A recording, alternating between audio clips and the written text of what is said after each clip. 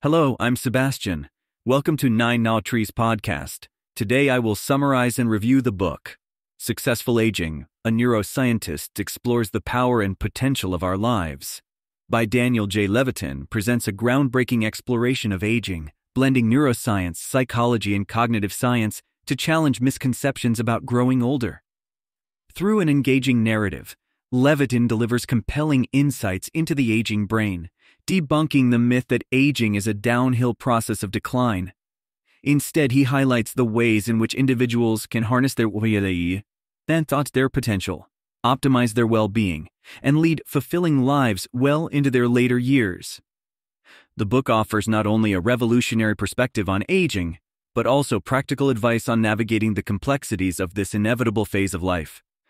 I will give you key takeaways from this book. Firstly, the Plasticity of the Aging Brain, Levitin introduces the concept of brain plasticity and how it continues throughout life, debunking the myth that our brains stop developing in early adulthood. He illustrates through various studies and examples how older adults can continue to learn, grow, and adapt, thereby maintaining a high level of cognitive functioning. This section provides hope and inspires readers to continue challenging their brains to prevent cognitive decay and to embrace lifelong learning as a key to successful aging. Secondly, the importance of social connections. In this part, Levitin emphasizes the critical role that social connections and relationships play in aging well. Drawing from comprehensive research, he demonstrates how maintaining strong social bonds can protect against neurodegenerative diseases, improve mental health, and enhance overall well being.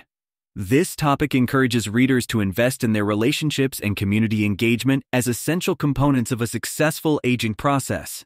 Thirdly, adapting to change and building resilience. Levitin discusses the vital importance of adaptability and resilience in the face of aging.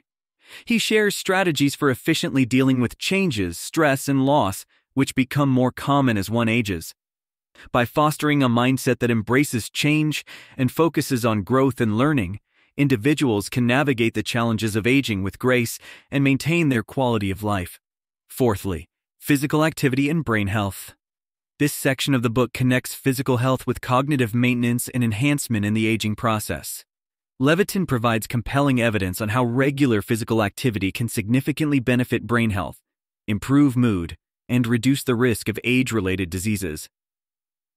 The author makes a compelling case for incorporating exercise into daily routines as a non negotiable aspect of successful aging. Lastly, lifestyle choices and cognitive decline. Levitin delves into the influence of lifestyle choices on cognitive health as we age, discussing the impacts of diet, sleep, and stress management. He brings to light how mindful living, adequate rest, and proper diet can dramatically slow cognitive decline and contribute to a healthier, more vigorous aging process. This topic underscores the power of personal agency in influencing one's aging trajectory through informed and intentional choices.